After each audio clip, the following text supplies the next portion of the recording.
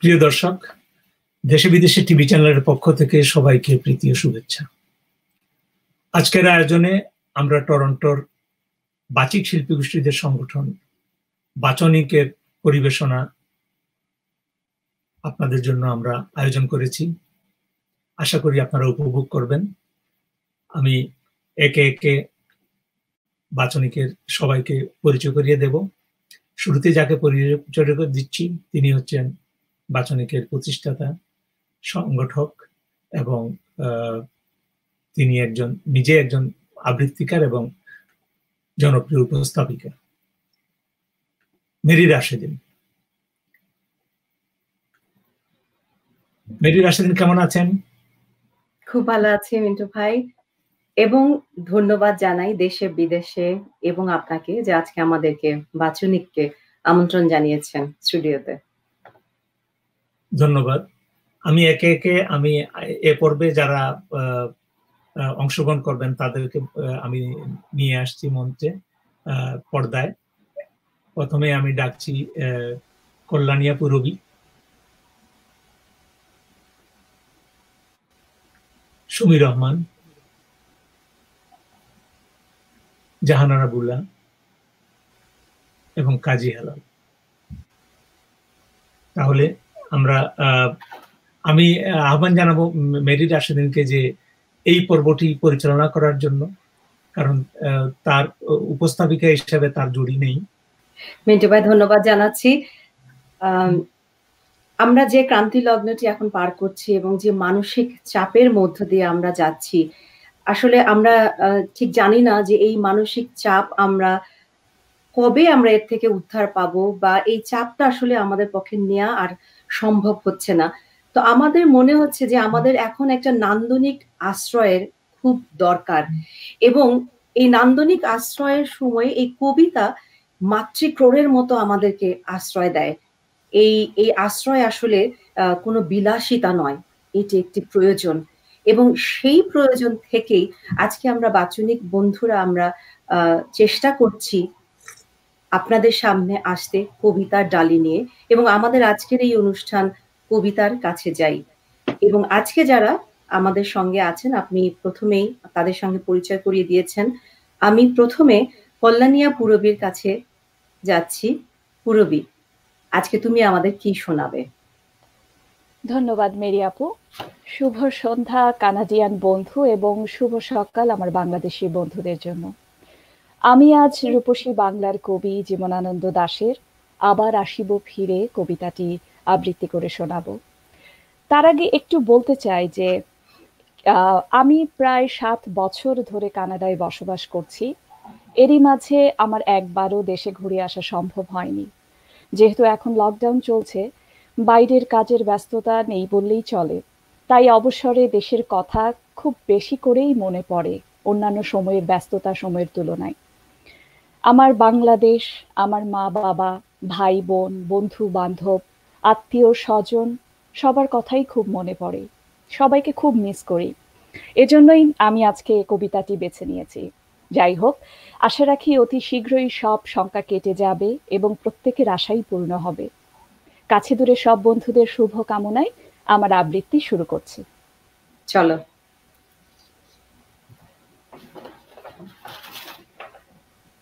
আবার আসিব ফিরে ধান সিঁড়িটির তীরে এই বাংলায়। হয়তো মানুষ নয় হয়তো বা শঙ্খ চিল শালিকের বেশে। হয়তো ভোরের কাক হয়ে এই কার্তিকের নবান্নের দেশে। কুয়াশার বুকে ভেসে একদিন আসিব এ কাঁঠাল ছায়ায়। হয়তো বা হাঁস হব কিশোরীর ঘুঙুর রহিবে লাল পায়। সারা দিন কেটে যাবে, কলমির গন্ধ ভরা জলে ভেসে ভেসে। আবার আসিব আমি, বাংলার নদী মাঠ ক্ষেত ভালোবেসে। জলাঙ্গির ঢেউয়ে ভেজা বাংলার এ সবুজ করুণ জাঙায় হয়তো দেখিবে চেয়ে সুদর্শন উড়িতেছে সন্ধ্যার বাতাসে। হয়তো শুনিবে এক লক্ষ্মী প্যাঁচা ডাকিতেছে শিমুলের ডালে। হয়তো খোয়ের ধান ছড়াতেছে শিশু এক উঠানের ঘাসে। রূপসার খোলা জলে হয়তো কিশোর এক সাদা ছেঁড়া পালে ডিঙাবায়। রাঙা মেঘ সাঁতরায়ে অন্ধকারে আসিতেছে নিরে। দেখিবে ধবল বক আমারই পাবে তুমি ইহাদের ভিড়ে। আমারই পাবে তুমি ইহাদের ভিড়ে। ধন্যবাদ। আহা, পূরবী, অনেক সুন্দর উপস্থাপনা। তুমি আমাদেরকে সেই প্রবাস জীবনে, আমরা প্রবাসে যারা থাকি, আমাদেরকে, আমাদের দেশের কথা মনে করিয়ে দিলে। অনেক ধন্যবাদ তোমাকে। বন্ধুরা আমরা যেতে চাচ্ছি সুমি রহমান আমাদের আজকের পরবর্তী উপস্থাপনা। হেলাল ভাই আপনার কাছে যাচ্ছি। আজ আপনি আমাদেরকে কি শোনাবেন? মেরি আমি কবি শামসুর রহমানের কবিতা এক ধরনের অহংকার পাঠ করবার চেষ্টা করব। বাট সেটা আবৃত্তি করার আগে আমি একটু কথা বলতে চাই যদি সময় থাকে। সমগ্র সমগ্র মানব জাতি অসম্ভব একটা ক্রান্তিকাল অতিক্রম করছে। তবে মানব জাতি কখনোই পরাজিত হয়নি নত হয়নি কারও কাছে। আমরা আবারও ঘুরে দাঁড়াবো এই প্রতিজ্ঞা নিয়ে। আমি আমার কবিতা এক ধরনের অহংকার শুরু করছি। চলুন। এখনও দাঁড়িয়ে আছি ই আমার এক ধরনের অহংকার। বেজায় টলছে মাথা, পায়ের তলায় মাটি সারা দিনমান পলায়ন পর হা হা, গোরস্থান ছাড়া অন্য কিছু দেখতে পাচ্ছি না আপাতত। তবু ঠিক রয়েছে, দাঁড়িয়ে প্রখর হাওয়ায় মুখ রেখে। অত্যন্ত জরুরি কোনো আবহাওয়া ঘোষণার মতো দশ দিক রটাচ্ছে কেবলই। হারে ঘাস গজাতে গজাতে বুকে হিম নিয়ে তুমি নির্বান্ধ। বড় একা হয়ে যাচ্ছ। আমার ভূভাগ থেকে আমাকে উৎখাত করবার জন্য কত পাইক পেয়াদা আসছে চৌদিক থেকে। ওরা তড়িঘড়ি আমার স্বপ্নের বেবাক স্থাবর, অস্থাবর সম্পত্তি করবে ক্রোক। কেউ কেউ ডাকছে, নিলাম তার তারস্বরে। কিন্তু আমি উপদ্রুত কৃষকের মতো এখনও দাঁড়িয়ে আছি চালে, ছাড়ছি নে জলমগ্ন ভিটে। আমার বিরুদ্ধে সুখ সারাক্ষণ লাগায় পোস্টার দেয়ালে দেয়ালে।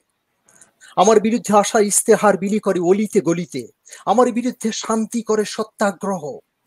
আমার ভিতর ক্ষয় দিয়েছে উড়িয়ে হার আর করটি চিহ্নিত তার অসিত পতাকা। আবার জনক এত ব্যর্থতার সব আজ জীবন বয়েছেন কাঁধে। বঞ্চনার মায়াবী হরিণ তাকে এত বেশি ঘুরিয়েছে বিপথে। আত্মহত্যা করবার কথা ছিল তার। কিন্তু তিনি যেন সে অশ্বারোহী, জিনচ্যুত হয়েও যে ঘোড়ার কেশর ধরে ঝুলে থাকে যে দি দাঁতে দাঁত ঘষে। আমার জননী, এত বেশি দুঃখ সয়েছেন এত বেশি ছেঁড়া খোড়া স্বপ্নের প্রাচীন কাঁথা করেছেন সেলাই। দেখেছেন এত বেশি লাল ঘোড়া পাড়ায় পাড়ায়। এতবার স্বপ্নে জাগরণে ভূমিকম্পে উঠেছেন কেঁপে। তার ভয়ানক কোনো মাথার অসুখ হওয়া ছিল স্বাভাবিক।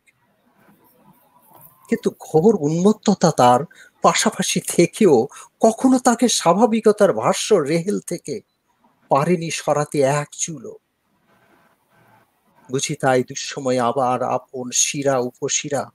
যেদি অশ্ব খুঁড়ে প্রতিধ্বনিময়, যেদিকে বাড়ায় না পদযুগ, কোনোদিন কোনো গন্তব্যে পৌঁছতে পারব না। আমি সেই অভিযান প্রিয় লোক, যার পদচ্ছাপ মরুভূমি ধরে রাখে ক্ষণকাল, যার আর্থ উদাস কঙ্কাল পরে থাকে বালির ওপর অসহায়। অথচ কাছে হৃদ্য মরুদ্যান কি যে হয় একবার রক্ত স্নাতে অন্যবার পূর্ণাঙ্গ জ্যোৎস্নায় ভেসে যায় হৃদয় আমার। যেদিকে বাড়ায় হাত, সেদিকেই নামে ধস। প্রসারিত হাতগুলো তলহীন গহব্বরে হারায়, আর আমি নিজে যেন পৌরাণিক জন্তুর বিশাল পিঠের ওপরে একা রয়েছি দাঁড়িয়ে। চতুর্পার্শ্বে অবিরল যাচ্ছে বয়ে লাভা স্রোত, কম্পমান ভূমি, প্রলয়ে হইনি পলাতক, নিজস্ব ভূভাগে এক রোখা। এখনও দাঁড়িয়ে আছি। এ আমার এক ধরনের অহংকার। ধন্যবাদ। বাহ অসাধারণ হেলাল ভাই। কবি শামসুর রহমানের অত্যন্ত জনপ্রিয় একটি কবিতা অসম্ভব ভালো লাগার একটি কবিতা। এ আমার এক ধরনের অহংকার অসাধারণ। খুব সুন্দর। সব মানুষেরই এক ধরনের অহংকার যে আমরা আবারও ফিরে দাঁড়াবো। অবশ্যই। আমরা মানুষ আমরা জয় করবই। মিন্টু ভাই হ্যাঁ আপনাকে অনেক ধন্যবাদ কাজী হেলাল খুব সুন্দর হয়েছে। কোথায় যাচ্ছি আমরা? আমরা গুলাপা একদম তোমার কবিতায় চলে যাই। তারপরে আচ্ছা। ঠিক আছে। আমি শ্রদ্ধেয় কবি রফিক আজাদের প্রতীক্ষা কবিতাটা পড়ব। বর্তমানে এখন যে লকডাউন চলছে এখন তো কেউ আমরা কাউকে কাছে পাচ্ছি না কারোর উষ্ণতা নিতে পারছি না আলিঙ্গন নাই সবকিছু, কিন্তু কি করা যাবে এই অবস্থায় প্রতীক্ষা ছাড়া?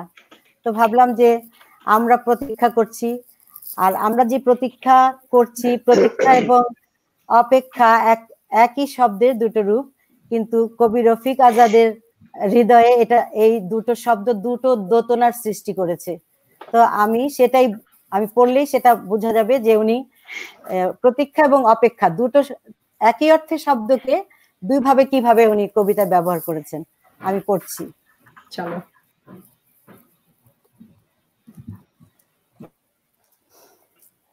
এমন অনেক দিন গেছে আমি অধীর আগ্রহে অপেক্ষায় থেকেছি। হেমন্তে পাতা ঝরার শব্দ শুনব বলে নিঃশব্দে অপেক্ষা করেছি বনভূমিতে।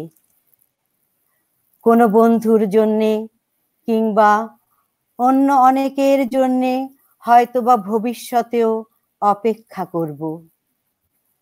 এমন অনেক দিন তো গেছে, কারও অপেক্ষায় বাড়ি বসে আছি। হয়তো কেউ বলেছিল, অপেক্ষা করো, একসঙ্গে বেরোবো। এক শনিবার রাতে খুব ক্যাজুয়ালি কোনো বন্ধু ঘোরের মধ্যে গোঙানির মতো উচ্চারণ করেছিল, বাড়ি থেকো, ভোরবেলা তুলে নেব। হয়তোবা ওর মনের মধ্যে ছিল চুনিয়া অথবা শ্রীপুর ফরেস্ট বাংলো, আমি অপেক্ষা করেছি। যুদ্ধের অনেক আগে একবার আমার প্রিয় বন্ধু অলোক মিত্র ঠাট্টা করে বলেছিল, জীবনে তো কিছুই দেখলি না নুব্জ পিঠ পানশালা ছাড়া, চল তোকে দিনাজপুরে নিয়ে যাই। কান্তজির মন্দির ও রামসাগর দেখবি। বিরাট গোলাকার চাঁদ ও মস্ত খোলা আকাশ দেখবি। পলা ও আধিয়ারদের জীবন দেখবি। গল্প টল্প লেখার ব্যাপারে কিছু উপাদান পেয়ে যেতেও পারিস। অপেক্ষা করিস। আমি আসব। আমি অপেক্ষা করেছি।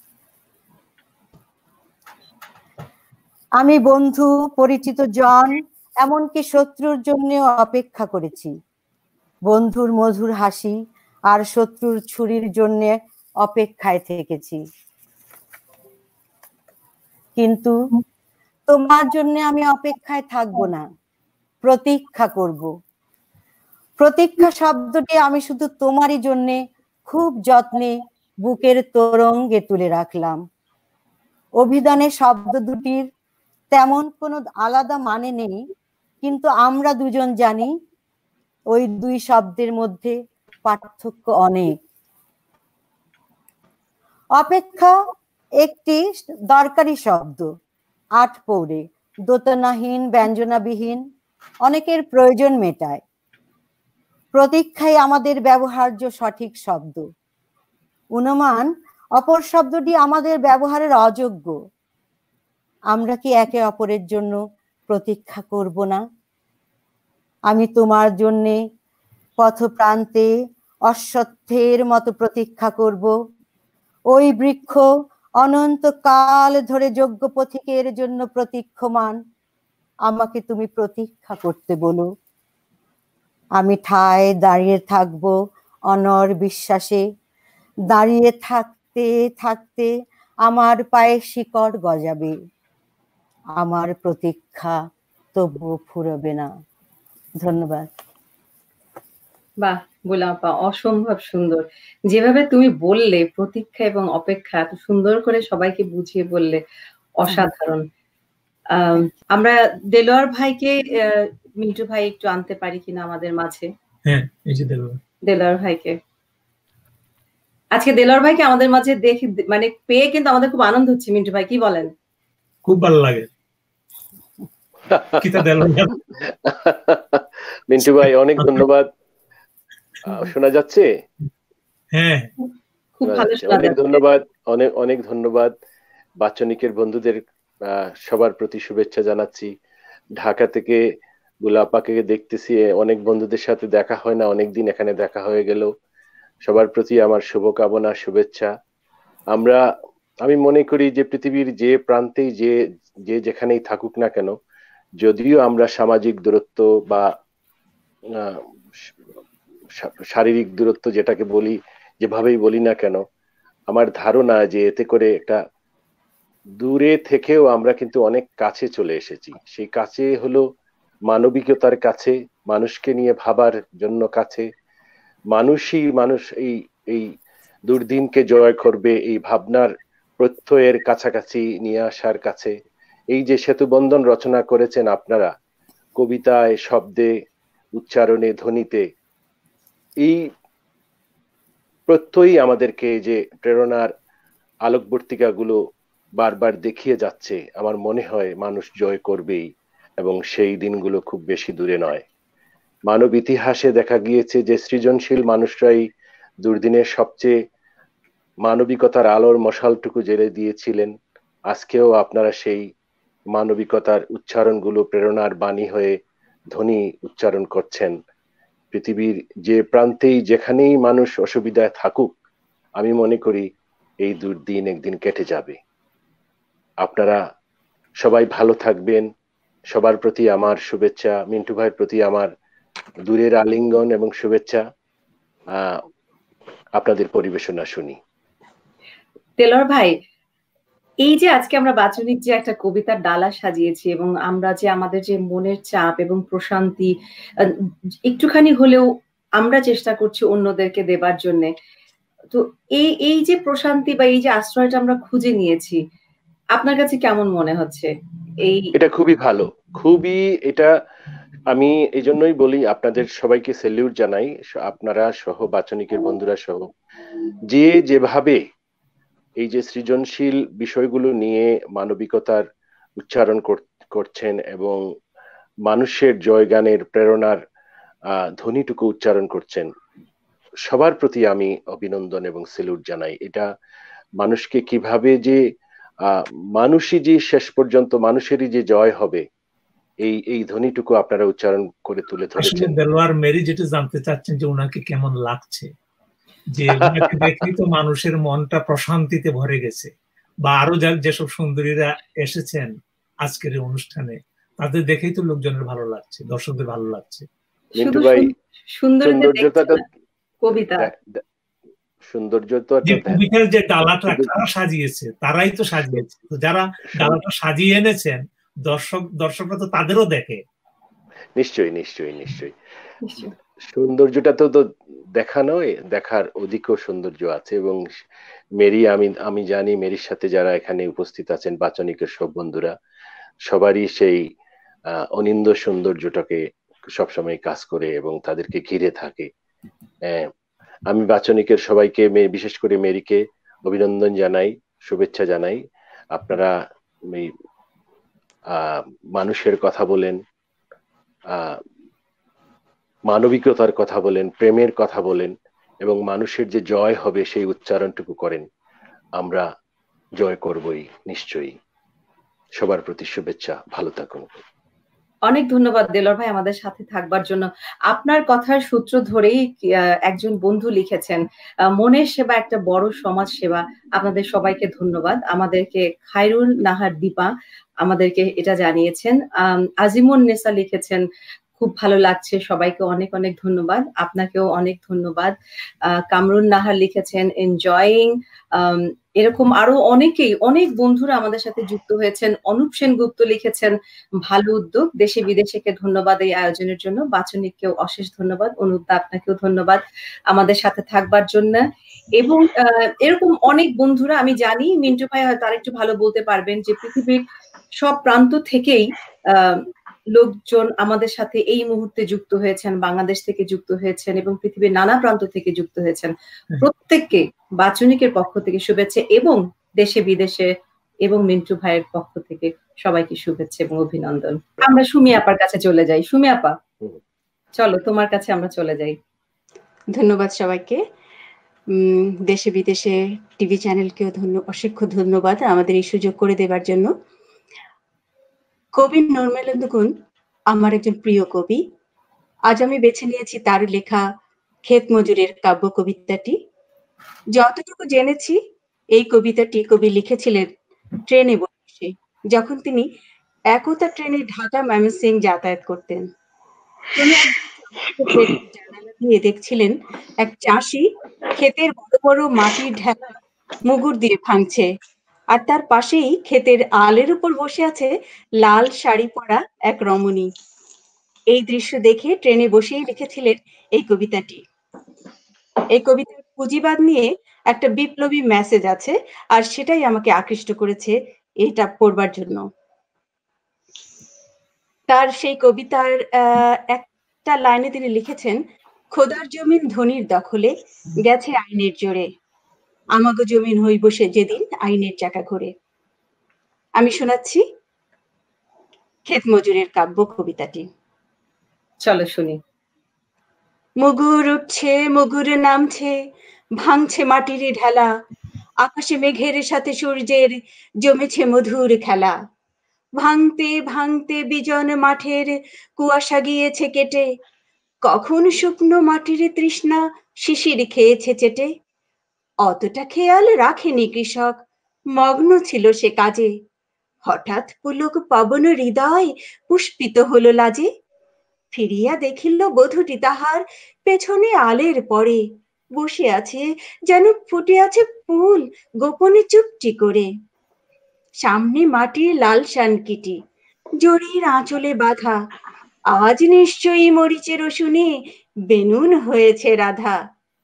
হাসিয়া কৃষক মরাল বাঁশের মুগুর ফেলিয়া দিয়া কামুক আখির নিবিড় বাঁধনে বাঁধিল বধুর হিয়া। বরুণ গাছের তরুণ ছায়ায় দুজনে সারিল ভোজ। বধুর ভিতরে কৃষক তখন পাইল মনের খোঁজ। মেঘ দিল ছায়া, বন সংক্রমে পুরিল মধুর আশা। মনে যাই থাক, মুখে সে বলিল, মর্গে বর্গা শাসা শব্দটি তার বক্ষে বিধিল, ঠিক বর্ষার মতো। এই জমিটুকু আমার হইলে কার কি বা ক্ষতি হতো? কাতর কণ্ঠে বধুটি শুধালো আচ্ছা ফুলির বাপ আমাকে একটু জমি হবে না? জমি যাও কি পাপ? খোদার জমি ধনির দখলে গেছে আইনের জোরে।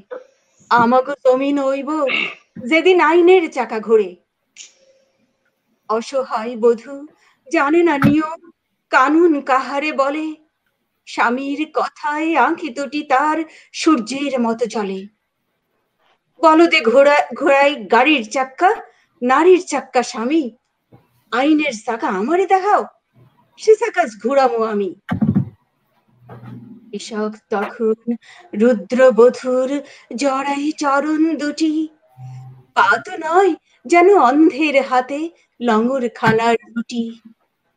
যতটা আঘাত সয়ে মৃত্তিকা, উর্বরা হয় ঘায়ে, ততটা আঘাত সইল না তার বধুর কোমল পায়ে। পা দুটি সরায়ে বধুটি কহিল, করো কি? করো কি? ছাড়ো। মানুষে দেখিলে জমি তো দিবে না, দুর্নাম দেবে আরও। পরম সোহাগে কৃষক তখন বধুর অধর চুমি হাসিয়া কহিল, ভূমিহীন কই? আমার জমিন তুমি। আকাশে তখনও সূর্যের সাথে মেঘেরা করিছে খেলা। মুগুর উঠছে, মুগুর নামছে, ভাঙছে মাটির ঢেলা। মুগুর উঠছে, মুগুর নামছে, ভাঙছে মাটির ঢেলা। ধন্যবাদ। বাহ, অসাধারণ সুমি আপা, অসাধারণ নির্মাণ। খুবই ভালো লাগল। কারণ আমরা, এই তো মাত্র মে দিবস গেল আমাদের, শ্রমজীবী দিবস, আমরা পয়লা মেতে পালন করলাম। তাদের উদ্দেশ্য তোমার এই কবিতাটি ছিল একটি শ্রদ্ধা। অনেক ধন্যবাদ, তুমি তাদেরকে মনে করিয়ে দিলে। কিছু বন্ধু আমাদেরকে লিখেছে, চমৎকার অভিনন্দন সবাইকে। শিরিনারা মতিন, জামিল বিন খলিল আমাদের সাথে আছেন। ও লিখেছেন, সুন্দর লাগছে সুমি আপাকে শ্রদ্ধা ও শুভেচ্ছা। প্রিয় কবিতার চমৎকার আবৃত্তি, অভিনন্দন। রিফাত নরেন লিখেছেন, সবাইকে খুব ভালো লাগছে। বাংলা নিউজ সিবিএন এ লিখেছেন, আহা কি চমৎকার। আজীবন নেসা লিখেছেন, চমৎকার। প্রত্যেকের কাছে অনেক অনেক ধন্যবাদ জানাচ্ছি। দীপ্তি জাহান, সুমি আপা, অনেক ভালো লাগল। সুমি আপা, এই কমেন্টসগুলো তোমার জন্য তুমি পেয়েছ এবং আরও যারা বন্ধুরা আমাদের সাথে যুক্ত আছেন প্রত্যেক অনেক ধন্যবাদ এবং আপনারা আমাদেরকে লিখুন। আমরা আছি আরও কিছুক্ষণ আপনাদের সাথে। আমরা যাই এলিনা মিতার কাছে। এলিনা মিতা। আজ আমাদের কি শোনাবে? ধন্যবাদ, মেরি। আজকে আমি শোনাতে চাচ্ছি দেবব্রত সিংহের লেখা কবিতা শিকড়। এই কবিতাটি কবি লিখেছেন পশ্চিমবঙ্গের উড়িয়া জেলার একটা ছোট্ট গ্রাম, কেন্দুলি গ্রাম। সেই গ্রামের প্রান্তিক জনগোষ্ঠীর জীবনযাত্রাকে নিয়ে উনি লিখেছেন। কবিতাটি যখন আমি পড়েছি, আমার আমার খুব ভালো লেগেছে যে আমরা আমাদের শিকড়ের কথা আমরা, আমার তখন মনে পড়েছে। আমাদের সমাজ, সভ্যতা, আমাদের অর্থনৈতিক বিকাশে এই প্রান্তিক জনগোষ্ঠীর কিন্তু অনেক বড় একটা অবদান। আমি আমাদের আগামী প্রজন্মকেও এই কথাটাই বলতে চাই, যেন তারা এই শিকড়ের কথা কখনো ভুলে না যায় এবং এই শিকড়ের মানুষগুলোকে, এই প্রান্তিক মানুষগুলোকে যেন কখনো অবহেলা না করে। সেজন্য আসলে আমি এই কবিতাটি আজকে নির্বাচন করেছি। তা আমি চেষ্টা করছি শিকড় কবিতাটি লিখেছেন দেবব্রত সিংহ। চলো শুনি। কেন্দুলির মেলা পেড়াই তখন আমাদের রাঙামাটির দেশে ফাগুনা হাওয়া বইছে। কচি পলাশের পাড়া রোদ উঠেছে ঝলমলা। সেই রোদ ধুলা পথে কানা বাউলের আখড়ায় যাতে যাতে থমকে দাঁড়ালে মাস্টার। কৃষ্ণনগরের সুধীর মাস্টার। বললে তুই তুই হরিদাসের লাতি, কানু বাগাল না? গরুবা থানের গরু পাল খুলে গাছতলাতে বাসি ফুকতে যায়, আমি ঠিক করে হাইসে ফেলেছি। মাস্টার বললে, শুন, তোকে একটা ছবি আঁকতে হবে। বললাম, ই বাবা, ছবি আবার আঁকবো কি হে? আমি গরু বাগালি আর বাঁশি ফুকা ছাড়া আর কিছু জানি নাই। মাস্টার না ছড় ঝোলা হাতরে বললে, এইলে রং, এইলে তুলি, এইলে কাগজ। সকালবেলা গরু বাথানের মাঠে এক পাল গাই গরুর মাঝে আমি হা হয়ে ভাললে। বললাম, বাবুদের স্কুল ডাঙাতে গিয়ে দেখা যায় আমার পাড়া কত ছেলে পেলেরা বসে বসে ছবি আঁকছে তার ছবি। মাস্টার শুনে লাই কিছুই। বললে ওয়াদের ছবি অনেক আছে আমার ঝোলাতে। লেলে, তুই আর দেরি করিস না। তুই একখানা গাছের ছবি আঁক দেখনি? অজয়ের পারে এত ফুল ফুটেছে পলাশের। তুই আমাকে একটা পলাশ গাছের ছবি আঁকে দে। আর কি করি? অত বড় মানুষ অমন করে বলছে। ই দেখে শেষতক কাগজ নিয়ে বসে গেল গরু বাথানের ধুলাতে। হেলা বাড়ি ঝাড়ে বাসি ফেলে তুলি ধরল হাতে। তাবাতে ভাবতে ভাবতে এক সমতে অজয় নদীর পাড়ের একটা আড্ডা পলাশ গাছকে উবরাইলিয়ে আসে। এক কৌটা ভর্তি রঙে চুবাই বসাই দিল মাস্টরের কাগজে। কি হয়েছে কে জানছে? বললাম এলাও তোমার ছবি। ছবি দেখে চোখের পাতনা লড়ে নাই মাস্টরের। আলাপনা মুখে মাস্টার বললে, তুই কি করলি? এ কি ছবি আঁকলি? বললাম, কেনে? কি হয়েছে? মাস্টার বললে, পলাশ ফুলের গাছটা না হয় বুঝলুম। গাছের তলায়, মাটির ভিতরে তুই সব আঁকে বুকে কি আঁকলি? বললাম, ওগুলা শিকড় বটে হে, মাস্টার। তুমি চিনতে লাগছ তুমি শিকড় চিনতে লাগছ মাস্টার তখন ঝোলা উবুর করে যত ছবি সব দিলেকে ঢাললে। দেখলাম কত রকমের সব গাছের ছবি। তার একটাতেও শিকড় নাই। আমি অবাক। বললাম, হে মাস্টার, এগুলা কি গাছ বটে হে? বাবুদের ঘরের স্কুলে পড়ে ছেলে পেলেরা এসব কি আঁকছে? মাস্টার, কোনো রা নাই কারলেক আমার আঁকা ছবির দিকে ভালতে ভালতে একটু কথা শুধালেক তুই গাছের সঙ্গে শিকড় কেনে আঁকলি? ই বাবা? কি আশ্চর্য শুনালে বটে। গাছ আছে, শিকড় নাই ই কখনো হয় নাকি? তুমি বলো, শিকড় ছাড়া কি গাছ বাঁচে? জানো মাস্টার, বাপ বলথক, ছোট লোক, মোটো লোক, যে যা বলছে বলুক। আমরা কি জানিস? আমরা হলাম শিকড়ের লোক। আমরা হলাম শিকড়ের লোক। সবাইকে অনেক অনেক ধন্যবাদ যে যেখান থেকে আমাদের এই অনুষ্ঠান উপভোগ করছেন সবাইকে আমার আন্তরিক ধন্যবাদ এবং কৃতজ্ঞতা এবং সেই সাথে মিন্টু ভাইকেও অসংখ্য ধন্যবাদ আমাদের বাচন নীতি সুযোগটা করে দেবার জন্য। প্রশ্ন আছে তোমার প্রতি। হ্যাঁ অবশ্যই। সাঁওতালি ভাষাটা এটা রপ্ত করলে কীভাবে? এত সুন্দরভাবে। আমি এটা কলকাতার একজন বাচিক শিল্পীর কণ্ঠে শুনেছিলাম।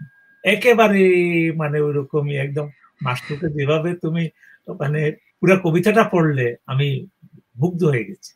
সত্যি অনেক অনেক অনেক অনেক অনেক অনেক ভালো লেগেছে আপনাদের। এটাকে নির্মাণ বলে মন্টু ভাই যখন কবিতা কেউ কোনো অনুষ্ঠানের জন্য উপস্থাপনা করবে তখন সে সেটাকে রপ্ত করে সেই বোধটাকে জাগ্রত করে তারপরে নির্মাণ করে তারপরে উপস্থাপনা করতে হয়।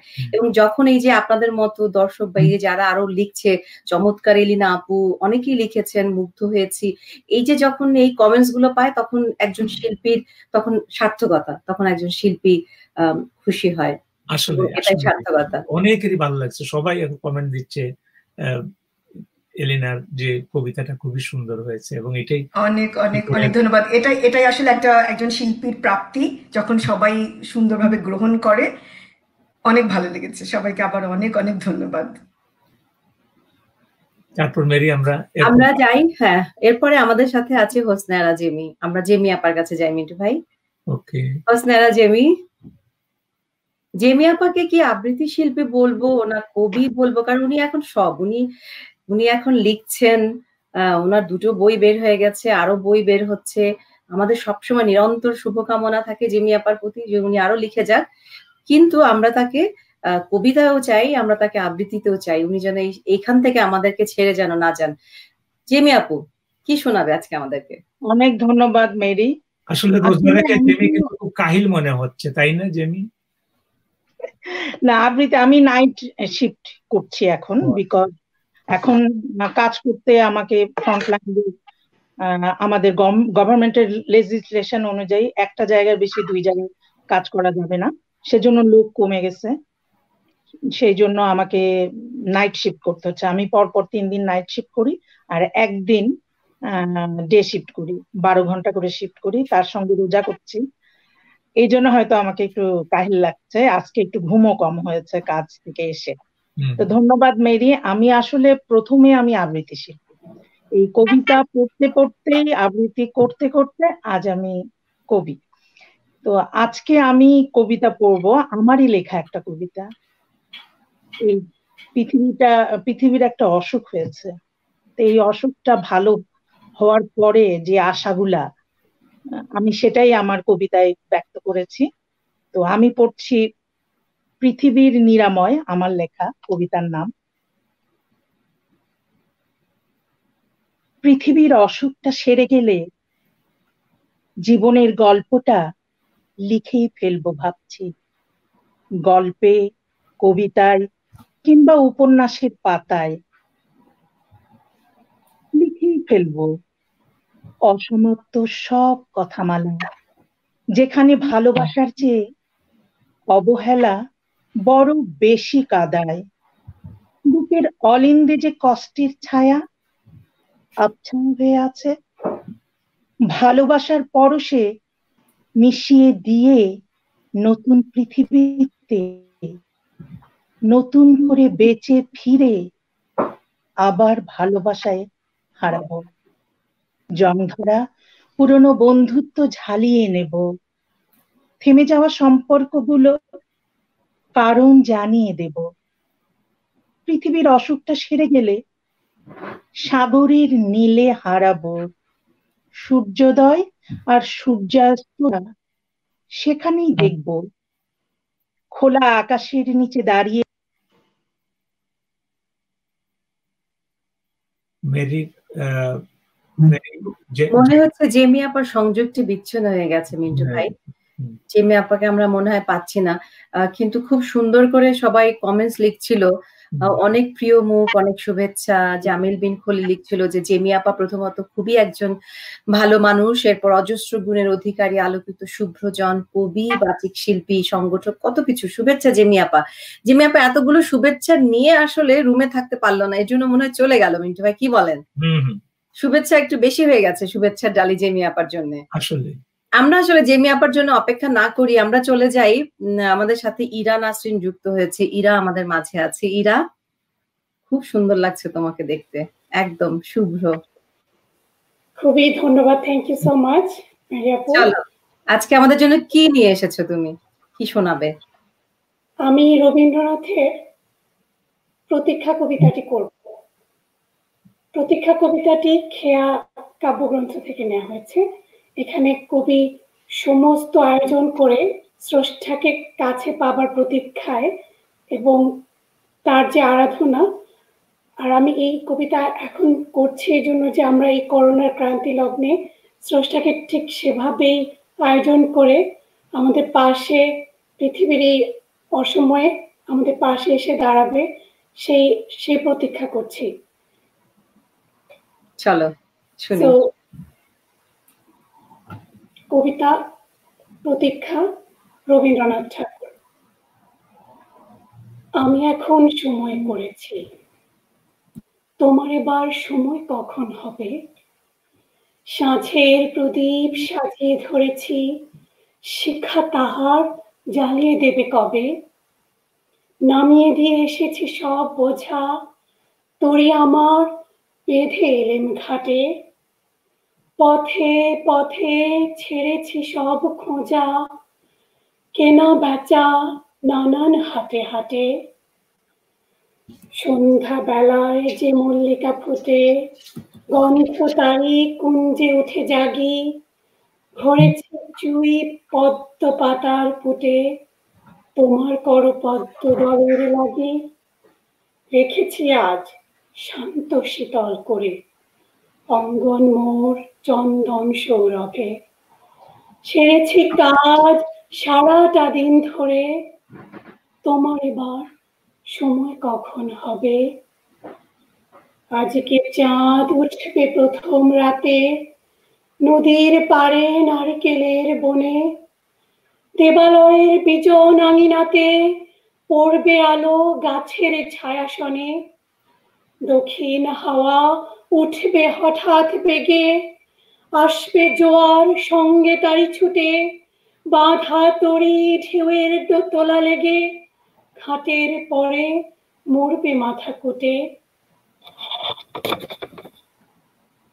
জোয়ার যখন মিশিয়ে যাবে কুলে থমথমিয়ে আসবে যখন জল, বাতাস যখন পড়বে ঢুলে ঢুলে চন্দ্র যখন নামবে অস্তাচল শিথিল তনু তোমার ছোঁয়া ঘুমে চরণ তলে পূর্বে লুটে তবে।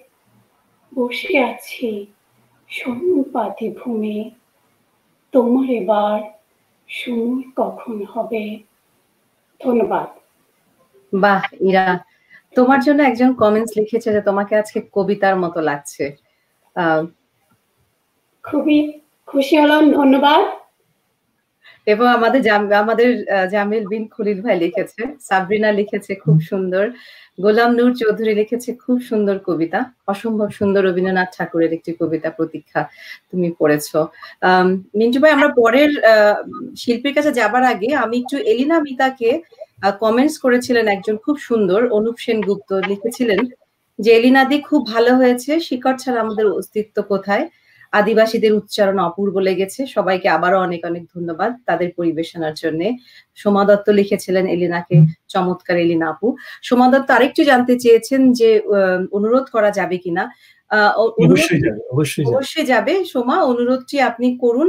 আমাদের যদি কেউ প্রস্তুত থাকে সেই কবিতাটি নিয়ে আমরা অবশ্যই আপনার অনুরোধটি আমরা রাখবার চেষ্টা করব।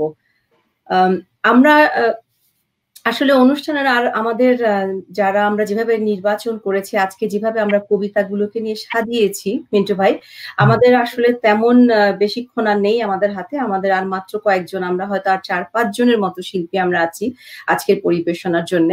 তো সেখানে যাবার আগে আমি একটু বলে নিই যে আমরা রবীন্দ্রনাথে আসলে আমাদের আমরা সাজিয়েছি এভাবে যে আমরা একদম শেষের দিকে যারা আমরা কবিতাগুলো আজকে আবৃত্তি করব তারা রবীন্দ্রনাথকে নিয়েই আমরা বসবো। তাই এখন আমরা যারা বসেছি তারা আসলে রবীন্দ্রনাথকে নিয়েই বসেছি। এই কারণে যে আগামী সাতই মে আমরা সকলেই জানি যে বিশ্বকবি রবীন্দ্রনাথ ঠাকুরের সেই জন্মদিন। সেই জন্মদিনে আমরা তাকে শ্রদ্ধা জানাচ্ছি আমাদের কবিতার উচ্চারণে। তো সেটাও আমাদের একটি শ্রদ্ধা এই অনুষ্ঠানের শেষ পর্বে আমরা তার কিছু কবিতা আমরা চেষ্টা করছি। আমরা আসলে চাচ্ছিলাম সেখানে যাবার আগে মেরি জেমিকে একটু জানতে চাচ্ছে সবাই। মিন্টু ভাই আমরা কি একটু হোসনেরা জেমিকে আবার আনতে পারি? রবীন্দ্রনাথে যাবার আগে। হোসনেরা জেমি তো এখানে নাই। জেমি আবার কবিতাটা সবাই শুনতে চেয়েছিলেন যেন উনি শেষ করতে পারেন। হুম দেখি আবার উনি হয়তো ওনার টেকনিক্যাল প্রবলেম হচ্ছে উনি এখানে নাই। আচ্ছা শর্মিলা ধর উনি একজন মন্ট্রিলের একজন খুব ভালো সংগীত শিল্পী। খুবই পপুলার ওখানে। উনি লিখেছেন আজকের অনুষ্ঠান ভালো লাগছে। আগামী পঁচিশে বৈশাখ উদযাপনের কোনো প্রস্তুতি নিলে খুব খুশি হব। আমার আবেদন থাকল কবির জন্মদিন একটি সন্ধ্যা শুধুমাত্র আপনাদের মাধ্যমে কবিকে নিয়ে কাটাতে চাই। বাহ! চমৎকার আবেদন মিন্টু ভাই। হ্যাঁ। কোনো আমাদের তো কোনো সমস্যা নেই। আমরা তো সবাইকে নিয়েই থাকতে চাই। আর আমরা রবীন্দ্রনাথ তো আমাদের জীবনের একটা অংশ। রবীন্দ্রনাথের জন্মদিন এভাবে চলে যাবে শুধু শুধু তা তো হয় না। আমরা অবশ্যই সেটাকে উদযাপন করব। সেটাই। হ্যাঁ। আর সোমা দত্ত লিখেছেন একটু সাহস দিও শ্রীজাতের মেরিয়াপার কণ্ঠে আর কৃষ্ণকলি পুরবীর কণ্ঠে শুনতে যাই। আমাদের পুরবী আহ, আশেপাশে কোথাও আছে কিনা আমি ঠিক বলতে পারছি না সোমা। তবে আপনার অনুরোধটি আমরা আমরা জেনে রাখলাম যদি আজকে সম্ভব হয় আমরা অবশ্যই চেষ্টা করব। আমরা তন্ময়ের কাছে চলে যাই। মিন্টু ভাই তন্ময় তন্ময় রহমান হচ্ছে আমাদের বাচনিকের একদম আহ, নতুন সদস্য। আমাদের সাথে অতি সম্প্রতি অতি সম্প্রতি যোগ দিয়েছে তন্ময়। অত্যন্ত সুন্দর মনের একজন মানুষ এবং কবিতায় নিবেদিত প্রাণ। অনেক ভালোবাসে কবিতা। তন্ময় আজকে আমাদেরকে কি শোনাবে? ধন্যবাদ আহ, মেরি আপু মিন্টু ভাই। আহ, আমি আসলে আজকে রবীন্দ্রনাথ ঠাকুরের দুঃসময় কবিতাটি পড়তে যাচ্ছি। এই কবিতাটি বেছে নেওয়ার পেছনের মূল কারণ হচ্ছে বর্তমান সময়। আসলে মানব জাতি হিসেবে আমরা ব্যক্তিগত, অর্থনৈতিক, সামাজিক ভাবে একটি দুঃসময় পার করছি। আর এই দুঃসময়ে এই কবিতাটি আমার কাছে খুব প্রাসঙ্গিক মনে হয়েছে। তো আমি চেষ্টা করব এই কবিতার মাধ্যমে আমরা আমাদের এই অন্ধকার সময় থেকে একটি আলোর ঠিকানা খুঁজে বের করতে তো পড়ছি দুঃসময়। খুব সুন্দর একটা চিন্তা ভাব, চিন্তা। এই কবিতাটি আসলে আমরা যখনই কোনো ক্রান্ত আমরা কিন্তু এই কবিতাটির আশ্রয় নিই। আমরা পড়ি সবাই। চলো, তন্ময়।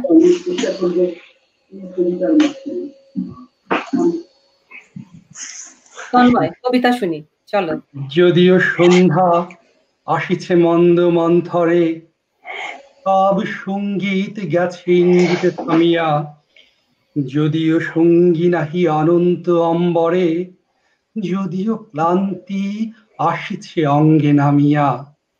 মহা আশঙ্কা জপিছে মৌন মন্তরে, দিক দিগন্ত অবগুণ্ঠনে ঢাকা। তবু বিহঙ্গ ওরে বিহঙ্গ মোর, এখনই অন্ধ, বন্ধ করো না পাখা এ নহে মুখর বনমর্মর গুঞ্জিত, এ যে অজাগর গরজে সাগর ফুলিছে, এ নহে কুঞ্জ কুন্দ কুসুম রঞ্জিত, এ নহিল্ললে কল কল ললে দুলিছে। কোথারে সে তীর ফুল পল্লব পুঞ্জিত, কোথারে সে নীর কোথা আশ্রয় শাখা? তবু বিহঙ্গ ওরে বিহঙ্গ মোর, এখনই অন্ধ, বন্ধ করো না পাখা। এখনও সম্মুখে রয়েছে সুচির সরবরি ঘুমায় অরুণ সুদূর অস্ত অচলে। বিশ্ব জগৎ নিঃশ্বাস বায়ু সম্বরী, স্তব্ধ আসনে প্রহর গণিছে বিরলে। সবে দেখা দিল অকুল তিমির সন্তরী, দূর দিগন্তে ক্ষীণ শশাঙ্ক বাঁকা। ওরে বিহঙ্গ ওরে বিহঙ্গ মোর, এখনই অন্ধ, বন্ধ করোনা পাখা। ঊর্ধ্ব আকাশে তারাগুলি মেলি অঙ্গুলি, ইঙ্গিত করি তোমা পানে আছে চাহিয়া। নিম্নে গভীর অধীর মরণ উচ্ছলি, শত তরঙ্গে তোমা পানে ওঠে ধাইয়া। বহু দূর তীরে কারা ডাকে বাঁধি অঞ্জলি, এসো এসো, সুরে করুন মিনতি মাখা। ওরে বিহঙ্গ ওরে বিহঙ্গ মোর, এখনই অন্ধ, বন্ধ করো না পাখা। ওরে, ভয় নাই নাই স্নেহ মোহ বন্ধন। ওরে, আশা নাই, আশা শুধু মিছে ছলো না ওরে, ভাষা নাই নাই বৃথা বসে ক্রন্দন। ওরে, গৃহ নাই নাই ফুল সেজ রচনা। আছে শুধু পাখা আছে মহানভ অঙ্গন উষাদিশে হারা নিবিড় তিমির আঁকা ওরে বিহঙ্গ ওরে বিহঙ্গ মোর। এখনই অন্ধ বন্ধ করো না পাখা। তন্ময় অসাধারণ। কমেন্টসগুলো তো অবশ্যই পড়ে শোনাতে হবে। শিরিনারা মতিন লিখেছেন আমার প্রিয় কবির প্রিয় কবিতা আমার খুব প্রিয় একজন মানুষ তন্ময়ের কণ্ঠে শুনে আমি অভিভূত। তন্ময়কে লিখেছে, তোমাকে নাকি ইয়াং রবীন্দ্রনাথের মতো লাগছে। Tanmoy Rahman I see young Rabindranath. অসাধারণ একটি কমেন্টস আর তোমার বন্ধুরা তো অবশ্যই লিখেছে, শুভ কামনা। বাচনিকের বন্ধুরা সবাই বলেছে, ভালো লাগছে তন্ময়। সঞ্জিদা রুমি, আমাদের খুব পছন্দের একজন মানুষ, লিখেছেন, মিন্টু ভাই, দারুণ প্রয়াস। গোলাম নূর চৌধুরী লিখেছেন, ওয়াও, দারুণ কণ্ঠ ভাই, ভালো লাগল। আর জামিল বিন খলিল যিনি সর্বক্ষণ আমাদের পাশে আছেন তিনি লিখেছেন বাচনিকের পরিবেশনা সবসময় অনবদ্য। আজকের দেশে বিদেশের আয়োজনে যান্ত্রিক গোলযোগে অংশটুকু ছাড়া এখন পর্যন্ত পুরো আয়োজন এক কথায় চমৎকার। আমরা ফ্লোরাকে আবার একটু শুনতে চাই। ফ্লোরা আছে আমাদের সাথে যুক্ত হয়েছে। ফ্লোরা? অবস্থা ফ্লোরা? এবার মনে হয় হ্যাঁ চলো। আমরা কথা না বলে তোমার কবিতায় একদম সরাসরি চলে যাই আগে। আচ্ছা আমি আসলে সবাইকে অনেক শুভেচ্ছা জানাচ্ছি। তো আজকে আমি রবিগুরু রবীন্দ্রনাথ ঠাকুরের বোঝাপড়া কবিতাটি পড়ছি। আমি বিশ্বকবি রবীন্দ্রনাথ ঠাকুরের প্রতি শ্রদ্ধা জানিয়ে বোঝাপড়া কবিতাটি পড়ার চেষ্টা করছি। মনেরে আছে কাহ যে, ভালো মন্দ যাহাই আসুক, সত্যের এলাও সহজে। কেউ বা তোমায় ভালোবাসে, কেউ বা বাসতে পারে না যে কেউ বিকিয়ে আছে, কেউ বা সিকি পয়সা ধারে না যে?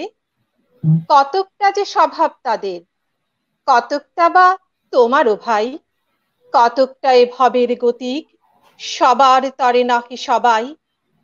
তোমায় কতক ফাঁকি দেবে, তুমিও কতক দেবে ফাঁকি? তোমার ভোগে কতক পড়বে, পরের ভোগে থাকবে বাকি? মান্ধাতারি আমল থেকে চলে আসছে এমনি রকম।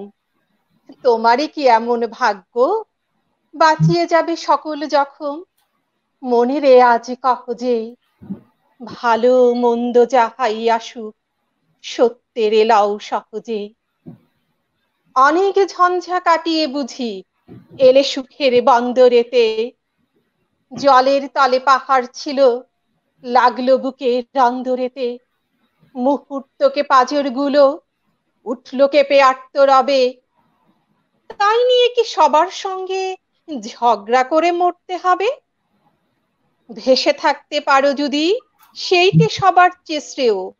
না পারো তো বিনা বাক্যে টুক করিয়া ডুবে যেও। এটা কিছু অপূর্ব নয়, ঘটনা সামান্য খুবই। শঙ্কা যেথায় করে না কেউ, সেইখানে হয় জাহাজ ডুবি। মনেরে তাই কহ যে ভালো মন্দ যাহাই আসুক সত্য রেলাও সহজে। তোমার মাপে হয়নি সবাই, তুমিও হওনি সবার মাপে। তুমি মরো কারও ঠেলায়, কেউ বা মরে তোমার চাপে। তবুও ভেবে দেখতে গেলে এমনি কিসের টানাটানি? তেমন করে হাত বাড়ালে সুখ পাওয়া যায় অনেকখানি। আকাশ তবু সুনীল থাকে মধুর থাকে ভোরের আলো, মরণ এলে হঠাৎ দেখি মরার চেয়ে বাঁচাই ভালো। যাহার লাগি চক্ষু বুঝে বহিয়ে দিলাম অশ্রু সাগর, তাহারে বাদ দিয়েও দেখি বিশ্বভুবন মস্ত ডাগর।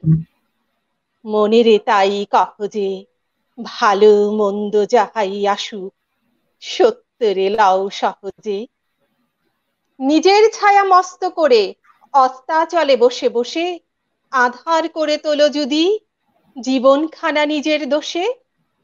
বিধির সঙ্গে বিবাদ করে নিজের পায়েই কুড়োল মারো।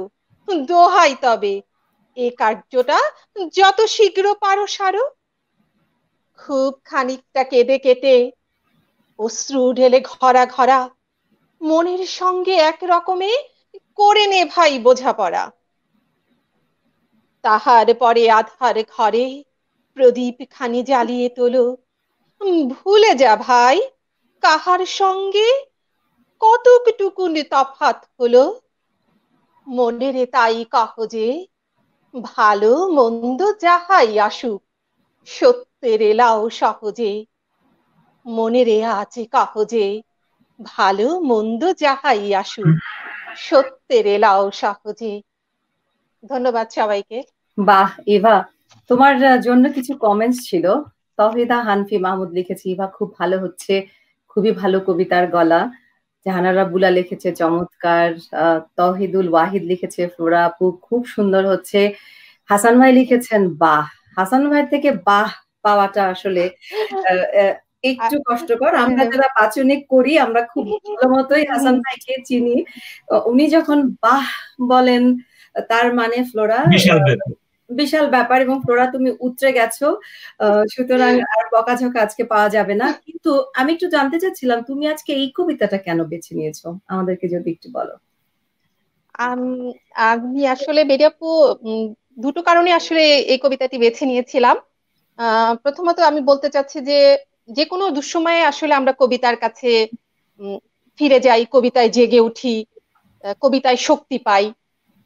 আর জীবনবোধের প্রতিটা পর্যায়ে যার কবিতার কাছে আমরা ছুটি তিনি বিশ্বকবি রবীন্দ্রনাথ ঠাকুর আর কয়েকদিন পরেই তার জন্মবার্ষিকী। আমি আসলে সেজন্যই আজকে রবীন্দ্রনাথ থেকে বেছে নিলাম। আর দ্বিতীয় কারণটি হচ্ছে, আসলে আমরা একটা অস্থির সময়ের মুখোমুখি বর্তমানে আছি। তো আমার কাছে মনে হয়েছে যে আমরা মানসিকভাবে চাঙ্গা হতে চাই। তো সরাসরি প্রাসঙ্গিক না হলেও এই কবিতাটার মধ্যে আসলে আমার কাছে মনে হচ্ছে যে কোনো পরিস্থিতিকে আমরা যাতে মানে সহজভাবে মেনে নিতে পারি এবং ভালো মন্দ যাহাই আসুক আমরা মানে সত্যকে সহজভাবে মেনে নেওয়ার মন্ত্রে উজ্জীবিত হই। তো সেদিকটা ভেবেই আসলে আমি এই কবিতাটি আমাকে বেছে নিয়েছি। আমার তো মনে হচ্ছে যে কবিতাটি খুবই প্রাসঙ্গিক এবং উদ্দীপনামূলক এবং তুমি সবাইকে এটাই বলতে চাচ্ছ এই কবিতার উচ্চারণ একটা সাহসী উচ্চারণ যে ভালো মন্দ যাহাই আসুক সত্যের ল সহজে। সবাইকে তুমি একটা সান্ত্বনা দিচ্ছ একটা একটা সাহসী উচ্চারণ তুমি করছ সবার জন্য তোমার বন্ধু তোমার আশেপাশে এবং যারা আমরা সবাই আজকে শুনছি। তোরা অনেক অনেক ধন্যবাদ আমাদের সাথে থাকবার জন্য। আহ মিন্টু ভাই আমি প্রথমে বলে নিয়েছি যে আমাদের পরিবেশন আজকে আমরা একটা নির্দিষ্ট সময়ের জন্য আমরা করে নিয়ে এসেছি এবং আমাদের আর হয়তো একটি বা দুটি পরিবেশনা দিয়ে আমরা আজকের অনুষ্ঠান শেষ করব।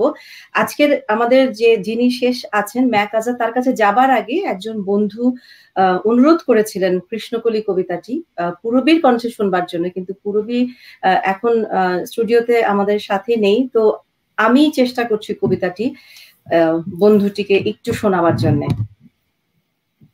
খুব একটা প্রস্তুতি নেই আমার, কিন্তু তার অনুরোধটি আমি রক্ষা করতে চাচ্ছি।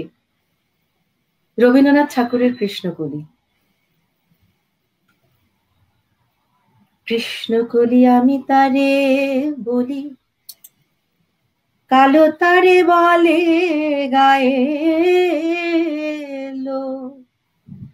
মেঘলা দিনে দেখেছিলে মাঠে, ও কালো মের কালো হরিঞ্চু কৃষ্ণ কলি আমি তারে বলি, কৃষ্ণ কলি আমি তারই বলি। কালো তারে বলে গায়ের লোক। মেঘলা দিনে দেখেছিলে মাঠে কালো মেয়ের কালো হরিণ চোখ। ঘুমটা মাথায় ছিল না তার মোটে, মুক্ত বেনি পিঠের পরে লোটে। কালো তা সে যতই কালো হোক, দেখেছি তার কালো হরিণ চোখ।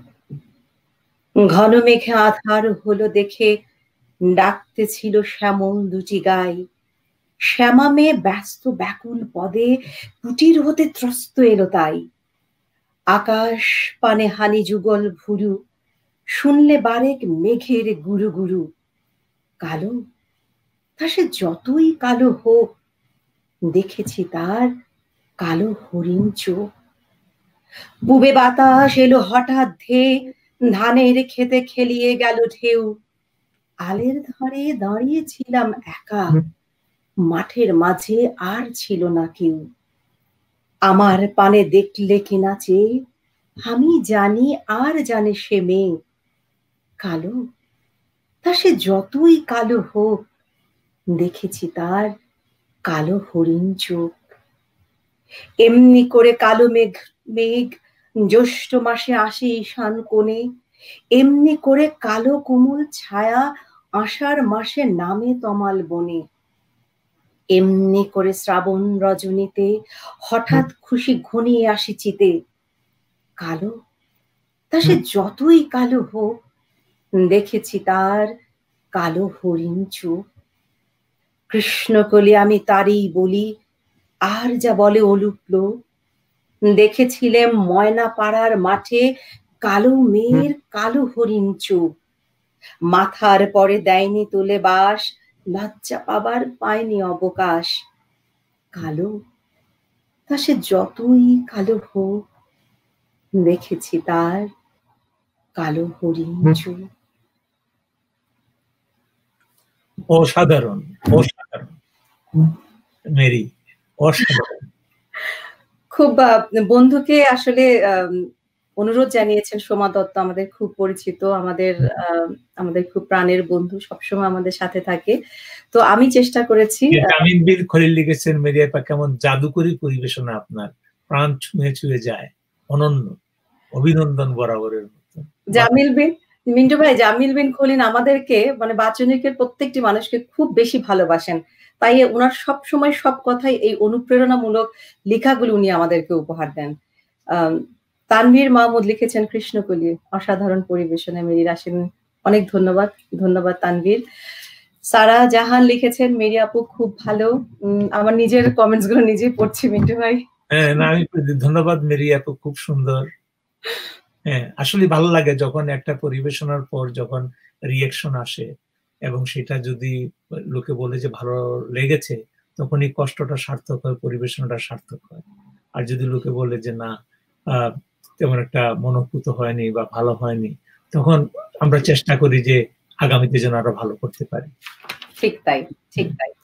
ভালো আমরা সব সময় চাইব যেন আমরা সব সময় ভালো করতে পারি এই চেষ্টা আমাদের সব সময় থাকে সব সময় সব সময় মিন্টু ভাই আমরা আমাদের সোনালী মুক্তারায় বলেছেন অসাধারণ মেরি রাশেদিন রূপসী। রূপসী ডাকছে কেন সে? এখানে তো কাহিনী আছে মনে হয়। এটা শুনি তো। এটা হচ্ছে সত্যটা শুনতে চাই সত্যটা। কোন স্বর্ণালী মুক্তা রয় আসলে কি বলব? যে অসম্ভব আমাকে ভালোবাসে এবং অমিত হচ্ছে আমার দাদা দাদার মতো এবং ও হচ্ছে আমার বৌদি সম্পর্কে তাহলে হয়। তো ওই যে ননদ বৌদির একটা খুনসুটি থাকে একটা ভালোবাসা থাকে সে যেন বৌদি ননদকে ডাকে রূপসী এবং ননদিনেও যেন বৌদিকে রূপসী ডাকে এই কারণে এটা বুঝে নিতে হবে মিন্টু ভাই। আচ্ছা, আচ্ছা, এই কারণেই লিখে দিচ্ছে আর কি রূপসী। ধন্যবাদ স্বর্ণালী সাথে থাকো। আমরা ম্যাক আজাদের কাছে যাই। ম্যাক আজাদ। ম্যাক আজাদের মাইক্রোফোনটা অফ আছে এটা ম্যাক আজাদ মাইক্রোফোনটা আনমিউট করতে হবে। করতে হবে শুনতে পাচ্ছেন সবাই আমি জানি। সবাই শুনতে পাচ্ছি। ম্যাক সবাইকে শোনাবে?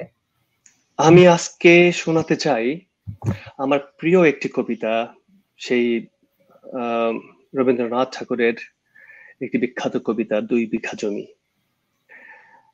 আমাদের সেই কবিতাটি আজকে আমি আপনাদেরকে শোনাতে চাই। কিন্তু তার আগে তুমি কি যেন বলতে চেয়েছিলে সবাইকে? একটুখানি। সবাইকে যেটা বলতে চেয়েছিলাম সেটা হলো যে যে আজকের এই কেন আমি এই কবিতাটা পছন্দ করলাম এই বিষয়ে আমি একটু বলতে চাই যে গল্প কবিতা এটা ভালো লাগার জায়গা। আমার অবসর সময় আমার ভালো লাগার সময় আমার মন খারাপের সময় সব হচ্ছে কবিতা। এই ক্রান্তি লগ্নে তাই ফিরে এসেছি আমাদের আজকের অনুষ্ঠান কবিতার কাছে যাই। তো কবি রবীন্দ্র কবিগুরু রবীন্দ্রনাথ ঠাকুরের বিখ্যাত কবিতা দুই বিঘা জমি, যেখানে পৃথিবীময় দরিদ্র জাতি কীভাবে ধনীদের দ্বারা নির্যাতিত, প্রতারিত ও লুণ্ঠিত হচ্ছে, তারই একটি সুন্দর চিত্র ফুটে উঠেছে। এবং একই সাথে আমি ধন্যবাদ জানাব দেশি বিদেশে টেলিভিশনকে আজকের আয়োজনের জন্য এবং বাচনিক সদস্যদের আমন্ত্রণ জানানোর জন্য। ধন্যবাদ ম্যাক আমি তো খুবই সব সময় সবাইকে উৎসাহ দিতে চাই। যত সংগঠন আছে আমাদের নগরীতে কিংবা আমাদের নগরীর বাইরেও, আমরা বিশেষ করে উত্তর আমেরিকার যেসব শহরে বাঙালিরা আছেন এবং বাঙালিদের বিভিন্ন সংগঠন আছেন, তাদের যেসব সৃজনশীল কর্মকাণ্ড আছে, আমরা সবগুলো তুলে ধরতে চাই। আমি যারা অনুষ্ঠানটা দেখছেন বিভিন্ন শহর থেকে সবাইকে বলব, আপনাদের যদি কোনো কিছু পরিবেশনার থাকে, আপনারা যদি উদ্যোগী হন, আপনারা ঘরে বসে আপনারা আমাদের সাথে আমাদের স্টুডিওতে যোগ দিতে পারেন।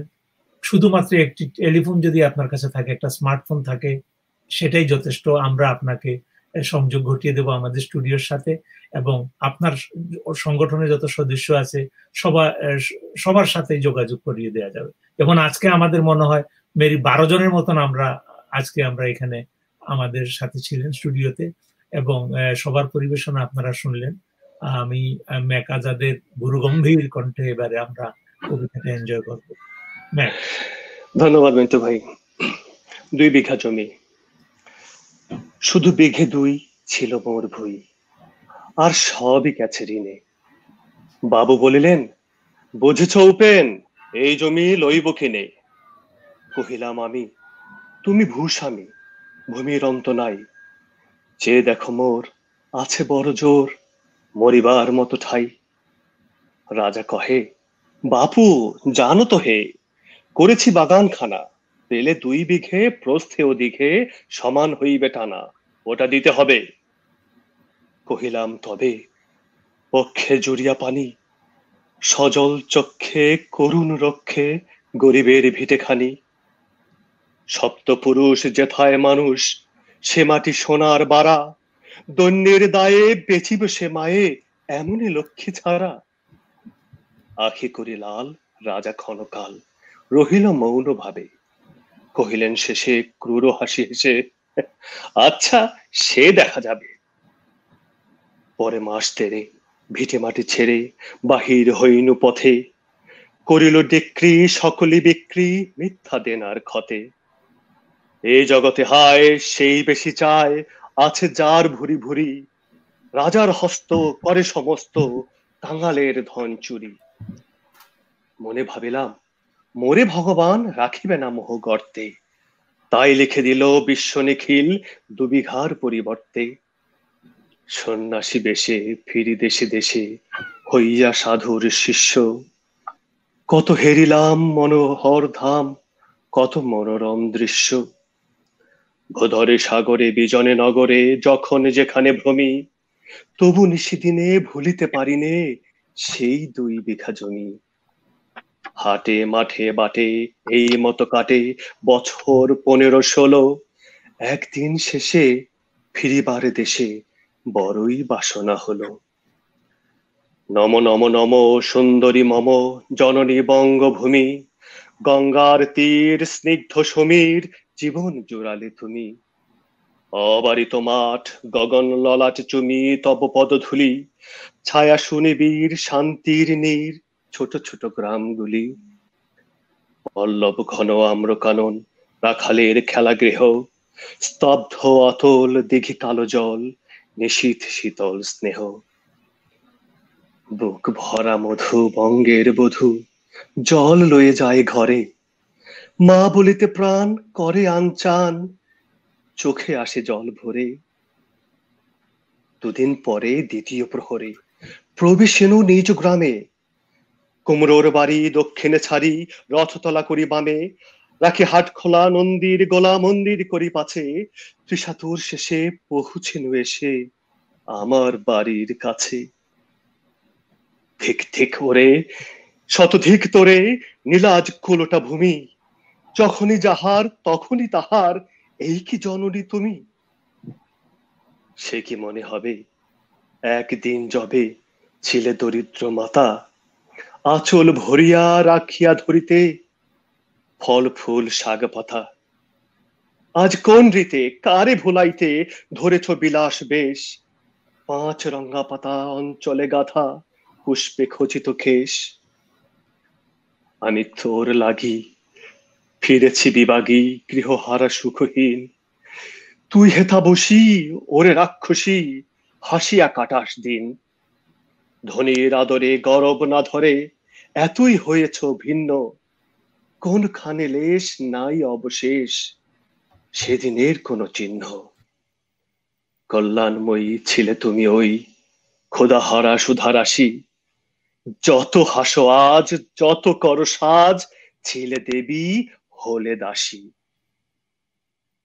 বিদির নদিয়া ফিরিয়া ফিরিয়া চারিদিকে চেয়ে দেখি, প্রাচীরের কাছে এখনও যে আছে সেই আম গাছ একই। বসি তার তলে নয়নের জলে শান্ত হইল ব্যথা। একে একে মনে উদিল স্বর্ণে বালক কালের কথা। সেই মনে পড়ে জ্যৈষ্ঠের ঝড়ে রাত্রে নাহিক ঘুম। অতি ভোরে উঠি, তাড়াতাড়ি ছুটি, আম কোরাবার ধুম। সেই সুমধুর স্তব্ধ দুপুর, পাঠশালা পলায়ন। ভাবিলাম, হায়, আর কি কোথায়? ফিরে পাবো সেই জীবন। সহসা বাতাস ফেলে গেল শ্বাস, শাখা দুলাইয়া গাছে। পাকা দুটি ফল লোভিল ভূতল আমার কোলের কাছে। ভাবিলাম মনে, বুঝি এতক্ষণে আমারে চিনিল মাতা। স্নেহের সে দানে বহু সম্মানে বারেক ঠেকানো মাথা। হেন কালে হায় জমদূত প্রায়, কোথা হতে এলো মালি ঝুটি বাঁধা ওরে সপ্তম সুরে পারিতে লাগিল গালি। কহিলাম, তবে আমি তো নীরবে, দিয়েছি আমার সব। দুটি ফল তার করি অধিকার, এত তারি কলরব। চিনিল না মোরে নিয়ে গেল ধরে কাঁধে তুলি লাঠি গাছ। বাবু ছিপ হাতে পরিষদ সাথে ধরিতেছিলেন মাছ। শনি বিবরণ ক্রোধে তিনি কন, মারিয়া করি বখুন বাবু যত বলে, পরিষদ দলে বলে তার শতগুণ। আমি কহিলাম, শুধু দুটি আম, ভিক মাগি মহাশয়। বাবু কহে হেসে, ব্যাটা সাধু বেশে পাকা চোর অতিশয়। আমি সরে হাসি আখি জলে ভাসি এই ছিল মোর ঘটে। তুমি মহারাজ সাধু হলে আজ আমি আজ চোর বটে। বাহ সত্যি অসাধারণ। ম্যাক তো অনেক বন্ধুরা আমরা। কিন্তু দেশের সাথে কিন্তু আমাদের আহ, সবসময় মনটা তো দেশের সাথেই থাকে। দেশের যে কোনো ক্রান্তি লগ্নে যে কোনো সমস্যায় আমরা সবসময় পাশে দাঁড়াই। আজকের মেকের কবিতাখানা বাংলাদেশের এই যে সমস্যা সংকুল পরিবেশের মধ্যে, এই যে কিছু লোক যাদের ভুরি ভুরি আছে, তারা যখন চালের বস্তাটা নিয়ে যখন তাদের ঘরে নিয়ে যায় এবং সেটা যখন তাদের গুদামে নিয়ে রাখে, তখন মনে হয় যে আসলেই মানে রবীন্দ্রনাথের এই কবিতাখানা কতটুকু প্রাসঙ্গিক। শত বছর আগে লিখে গেলেও খুবই প্রাসঙ্গিক। ধন্যবাদ, ম্যাক। আমার পক্ষ ধন্যবাদ সবাইকে। এবং এবং কাঁচি একটা কবিতা মানে এই মুহূর্তে মনে হলো এবং ম্যাককে লিখেছে ফিরোজ আহ, মিয়া লিখেছে যে এখনও আছে দুই বিঘার জমির এই সমস্যা। আর একজন লিখেছে বন্ধু ফারানা লিখেছে খুব ভালো হচ্ছে। আহ, সাবরিনা সাবরিনা লিখেছে খুব ভালো হয়েছে। আম, সাবরিনা একটা কমেন্ট করেছে মিন্টু ভাই আপনাকে যে ধন্যবাদ মিন্টু ভাই উন্মুক্ত এই আহ্বানের জন্য। আশা করছি অনেকে সাড়া দেবে। আপনি যে আহ্বান করেছেন সেটার উপরে লিখেছে সে। জামিল বিন খলিল লিখেছে ম্যাক ভাই তার নিজস্ব স্টাইলে সবসময় সবার থেকে আলাদা লেগেছে। আমার অনেক প্রিয় কবিতাটা। অসাধারণ অতুল শুভেচ্ছা। আম, সুমি লিখেছে সোনালী মুক্ত লিখেছে তন্ময় ম্যাকাজাদ দুজনের পরিবেশনা ভীষণ ভালো লাগল। আর রাশেদা মনে লিখেছে ম্যাকের পাঞ্জাবিটা খুব সুন্দর। পাঞ্জাবিটা খুব সুন্দর। আহ, কারও দৃষ্টি আর আয় না কিছু একদম মানুষ তন্ন তন্ন করে দেখে যে কে কোথায় টিপটা পড়ল সঠিক জায়গা মতো টিপটা পড়েছে কিনা হ্যাঁ? শাড়িটা ঠিক মতো আছে কিনা গলায় কি আছে না আছে পাঞ্জাবিটা পর্যন্ত কীরকম মানুষ কিন্তু সব মিন্টু ভাই এটা ওই এটাকে বলে পরিবেশন একটা প্যাকেজ মানে পুরোটা মিলিয়েই একটি সুন্দর উপস্থাপনা হওয়া প্রয়োজন। আর ফারহানাও লিখেছে ফারহানা লিখেছে খুব ভালো হয়েছে এবং ফারহানা আমাদের সাথে আছে। আমরা যাচ্ছি ম্যাক অনেক অনেক ধন্যবাদ আমাদের সাথে থাকবার জন্য। মিন্টু ভাই আমরা হ্যাঁ। হোসনেরা জেমিকে আবার ফেরত পেয়েছি এবং পাবলিক ডিমান্ড হোসনেরা জেমির কবিতা শুনতে হবে। তো পাবলিক ডিমান্ড এবং আমরা জেমি আপাকে ফেরত পেয়েছি। জেমি আপা কথা বলছি না তোমার কবিতায় চলে যাই। যদি তোমাকে আবার হারাই সমর্থন দিচ্ছেন তারেক মিন্টু বলেছেন। হ্যাঁ আবার যদি তোমাকে হারিয়ে ফেলে চলো তোমার কবিতায় আগে যাই। কবিতায় যাই আগে। পৃথিবীর নিরাময় লিখেছি আমি নিজেই। পৃথিবীর অসুখটা সেরে গেলে জীবনের গল্পটা লিখেই ফেলব ভাবছি। গল্পে কবিতায় কিংবা উপন্যাসে। লিখেই ফেলব। অসমাপ্ত সব কথামালা, যেখানে ভালোবাসার চেয়ে অবহেলা বড় বেশি কাদায়।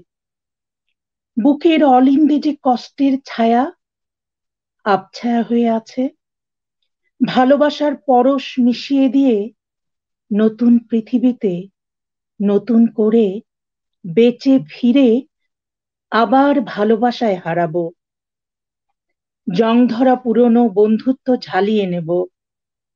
থেমে যাওয়া সম্পর্কগুলোর কারণ জানিয়ে দেব। পৃথিবীর অসুখটা সেরে গেলে সাগরের নীলে হারাবো। সূর্যোদয় আর সূর্যাস্তটা সেখানেই দেখব।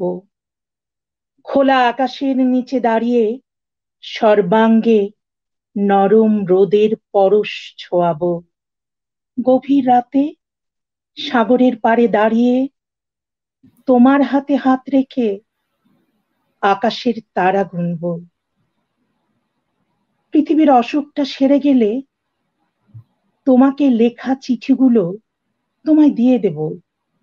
বইয়ের মলাটে বন্দি করে রেখো। আবার লিখব চিঠি প্রতিদিন। পৃথিবীর অসুখটা সেরে গেলে সাহসী যোদ্ধাদের জড়িয়ে ধরে ভালোবাসায় হারাবো। লিখে রাখব তোমাদের কথা, কবিতায়, গানে, গল্পে কিংবা উপন্যাসের পাতায়। প্রিয় পৃথিবীকে সাজাবো নতুন রূপে, বাঁচবো নতুন আশায়।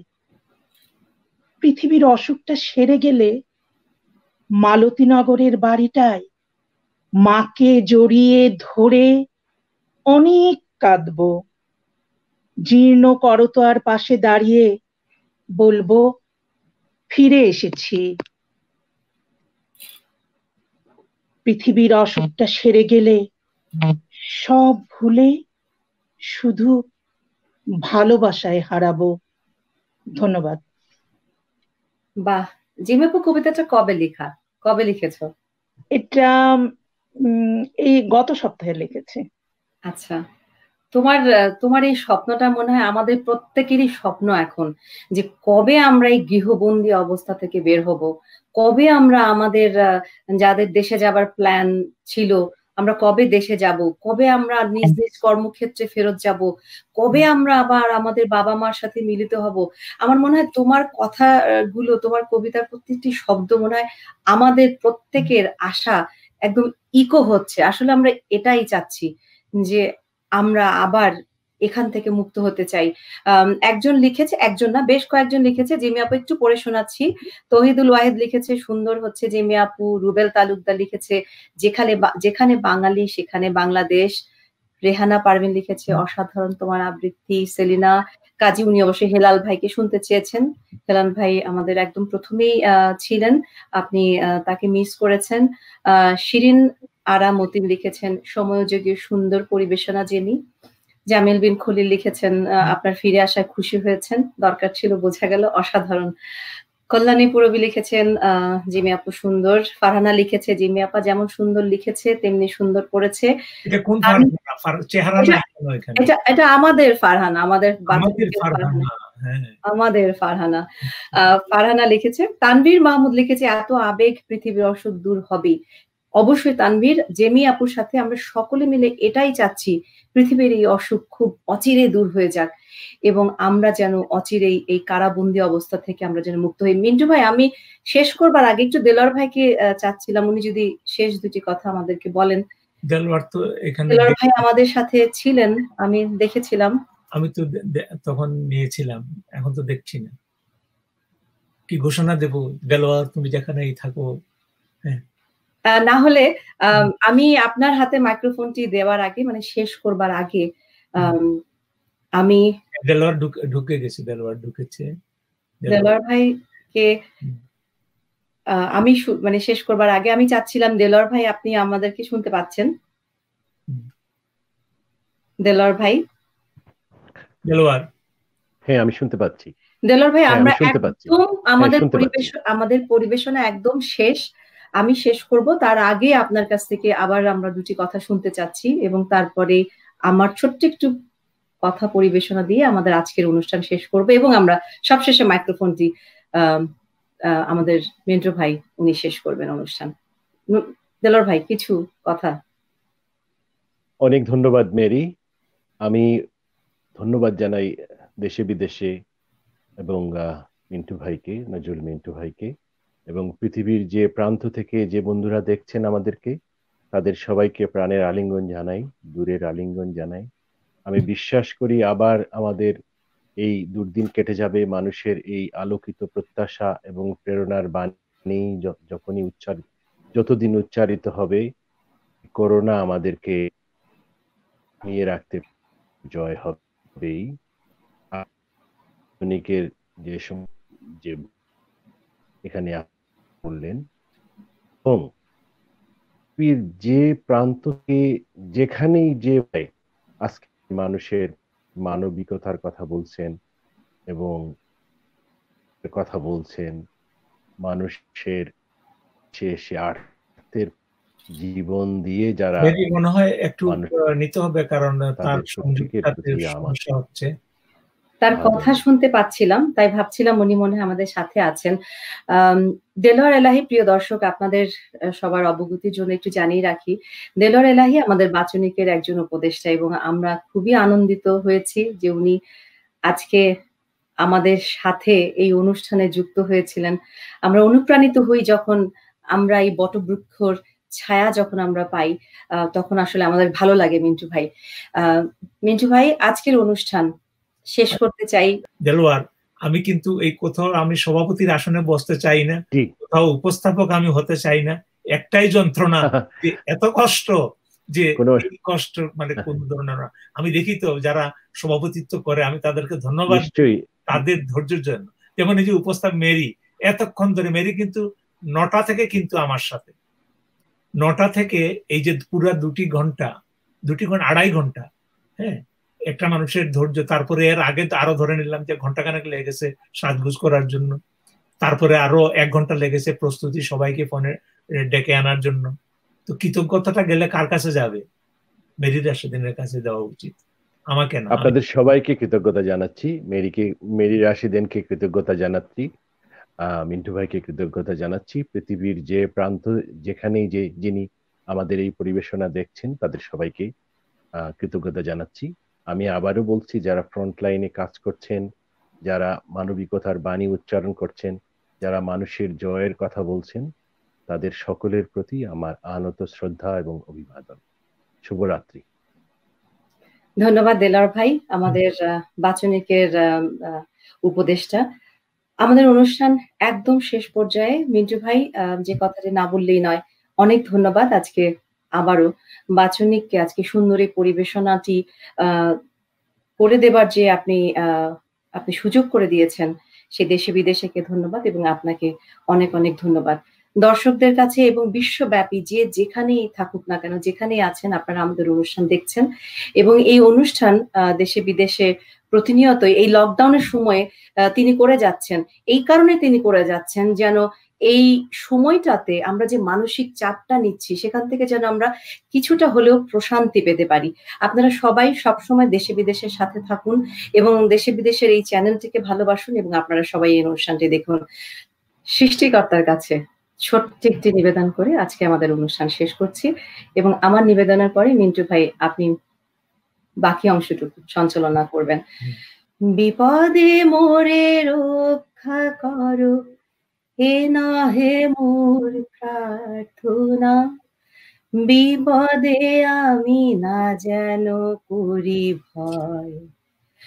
দুঃখ তাপে ব্যথিত চিতে নাই বা দিলে সান্ত্বনা, দুঃখে যেন করিতে পারি জয়। বিপদে মোরে রক্ষা করো, এ নহে মোর প্রার্থনা।